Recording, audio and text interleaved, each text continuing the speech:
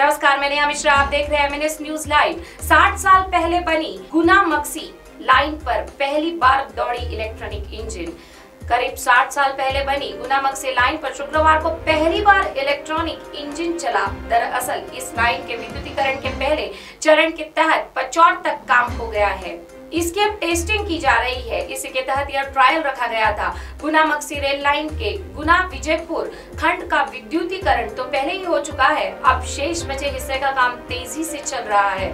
मक्सी तक विद्युतीकरण होने के बाद गुना से इंदौर, उज्जैन व गुजरात की ओर जाने वाली तमाम ट्रेनों में डीजल की जगह इलेक्ट्रॉनिक इंजन लगाया जा सकेगा।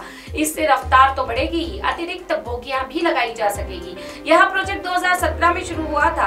इसे मई 2020 तक पूरा होना है। हालाँकि बताया जाता है कि रेलवे ने इस से समय से पहले पूरा करने के लिए नए सिरे से समय सीमा तय की है। तो आज के लिए खबरों में इतना ही। एमएनएस न्यूज़ लाइव देखने के लिए आज ही प्ले स्टोर से एमएनएस हिंदी ऐप डाउनलोड कर चैनल लाइक सब्सक्राइब करें। नोटिफिकेशन के लिए बेल आइकन दबाना ना भूलें। धन्यवाद।